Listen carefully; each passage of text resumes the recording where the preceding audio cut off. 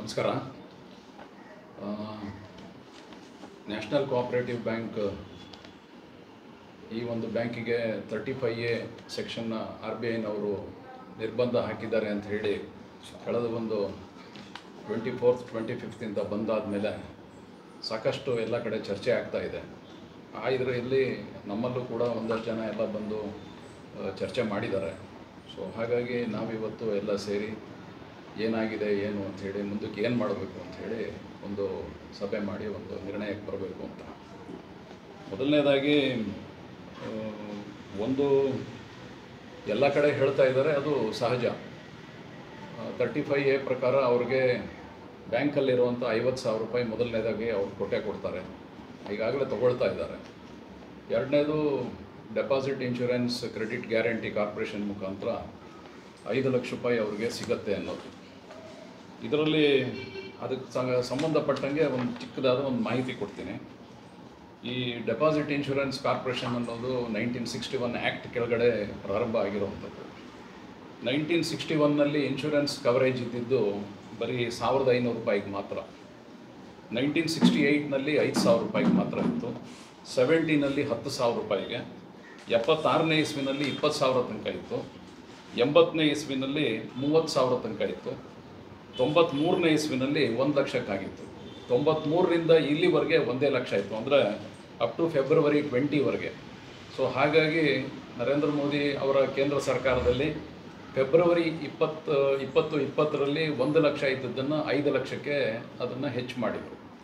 So ಹಾಗಾಗಿ ಯಾವುದೇ bank, nationalised bank ಮತ್ತು ಆರ್ ಬಿ ಐಗೆ ಲೈಸೆನ್ಸ್ ಕೊಟ್ಟಿರುವಂಥ ಯಾವುದೇ ಬ್ಯಾಂಕ್ ಇರಲಿ ಅವರೆಲ್ಲರೂ ಇನ್ಶೂರೆನ್ಸ್ ಪ್ರೀಮಿಯಂ ಕಟ್ತಾರೆ ಈ ಒಂದು ಡೆಪಾಸಿಟ್ ಇನ್ಶೂರೆನ್ಸ್ ಕಾರ್ಪೊರೇಷನ್ಗೆ ಅವರು ಹನ್ನೆರಡು ಪೈಸರು, ಹನ್ನೆರಡು ಪೈಸೆ ನೂರು ರೂಪಾಯಿಗೆ ಅಂತ ಹೇಳಿ ಅವರು ಒಟ್ಟು ಡೆಪಾಸಿಟ್ ಮೇಲೆ ಅವರು ಇನ್ಶೂರೆನ್ಸ್ ಪ್ರೀಮಿಯಂ ಕಟ್ಟೋದ್ರಿಂದ ಒಟ್ಟು ಇರುವಂಥ nationalise bank state bank of ಇಂಡಿಯಾಯಿಂದ ಎಲ್ಲ ಬ್ಯಾಂಕ್ಗಳಿರ್ಬೋದು, ಇಡೀ ದೇಶದಲ್ಲಿರುವಂಥ ಎಲ್ಲ ನ್ಯಾಷನಲೈಸ್ಡ್ ಬ್ಯಾಂಕ್ಗಳಿಂದ ಹಿಡಿದು ಅರ್ಬನ್ ಬ್ಯಾಂಕ್ಗಳು ಮತ್ತು ಕೋಆಪರೇಟಿವ್ ಬ್ಯಾಂಕ್ಗಳು ಎಲ್ಲರೂ ಕೂಡ ಲೈಸೆನ್ಸ್ ತೊಗೊಂಡ್ರು ಅವರು ಆರ್ ಬಿ ಐ ಕೆಳಗಡೆ.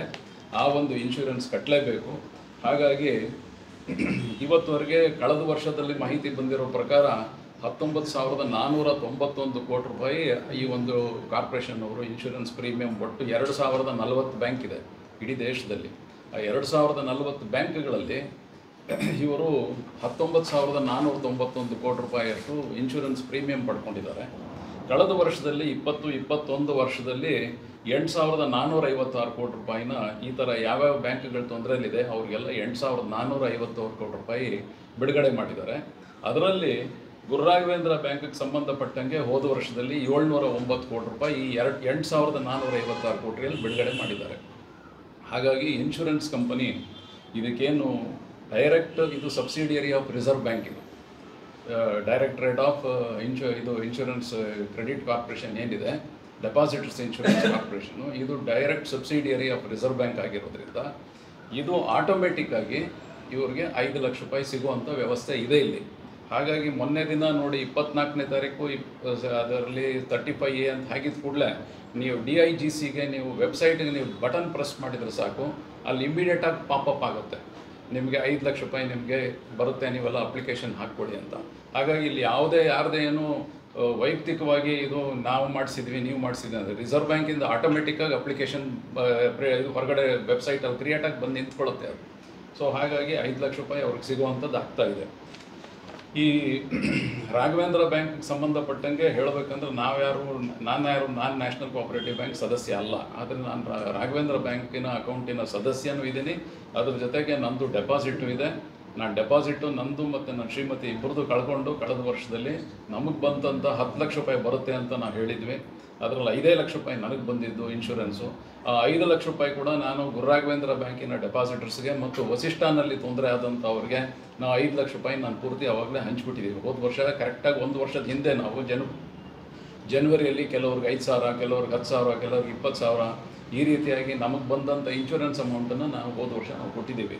ಈಗ ನನ್ನ ಶ್ರೀಮತಿಗೆ ಇನ್ನೂ ಐದು ಲಕ್ಷ ರೂಪಾಯಿ ಬಂದಿಲ್ಲ. ಅದು ಈ ಸತಿ ಫಾಲೋ ಮಾಡಿ ಗುರುರಾಘವೇಂದ್ರಲ್ಲಿ ಐದು ಲಕ್ಷ ತೊಗೊಂಡು, ಆ ಐದು ಲಕ್ಷ ರೂಪಾಯಿನಲ್ಲಿ ಈ ಸತಿ ನ್ಯಾಷನಲ್ ಕೋಆಪರೇಟಿವ್ ಬ್ಯಾಂಕ್ ಅವ್ರಿಗೆ ಯಾರಿಗೆ ತೊಂದರೆ ಆಗಿದೆಯೋ, ಖಂಡಿತವಾಗ್ಲೂ ಐದು ಲಕ್ಷ ಬರ್ತಿದ್ದಂಗೆ ಅವ್ರಿಗೆ ಸಹಾಯಕ್ಕೆ ನಾವು ಬಿಡುಗಡೆ ಮಾಡುವಂಥದ್ದು ವ್ಯವಸ್ಥೆ ಮಾಡ್ತೀವಿ ನಾವು.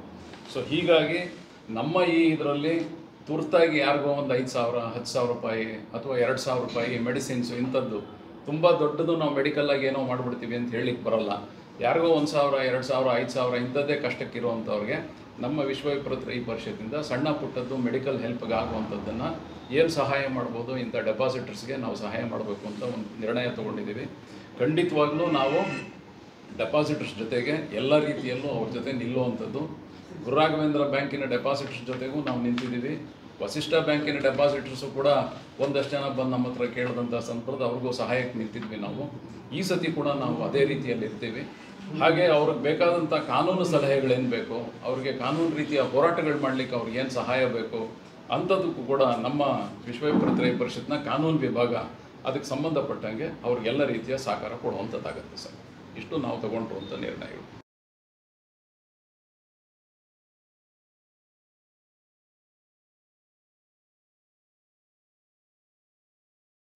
ವಿಡಿಯೋ ನಿಮಗೆ ಲೈಕ್ ಆಗಿದ್ದಲ್ಲಿ ಜನಧ್ವನಿ ಚಾನಲ್ನ ಸಬ್ಸ್ಕ್ರೈಬ್ ಮಾಡಿ ಲೈಕ್ ಮಾಡಿ ಶೇರ್ ಮಾಡಿ.